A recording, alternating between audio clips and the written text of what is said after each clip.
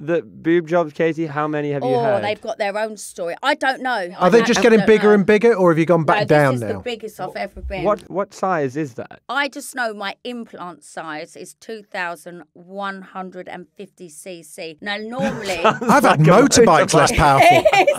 but normally women have 275 to 400 cc. What does CC stand It's like a liquid See, measurement, liquid isn't it? Oh, but like, and I hope this isn't rude me asking. Like, No, if you oh, were to buy a, a bra, for example, what size is Do you know, that? I don't know. I went round all these different bra shops because you could get measured. I was different size in different In every shops. single one. I know that in Ann Summers, I was like 32 double H.